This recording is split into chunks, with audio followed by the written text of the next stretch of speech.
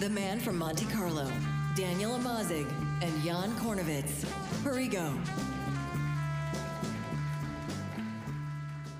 Uh, thank you so much. I'm accepting this on behalf of Parigo and Guillaume, and uh, he wanted me to thank the PMA, the composers, um, and all of his wonderful self publishers around the world. Um, congrats, Parigo. Thank you.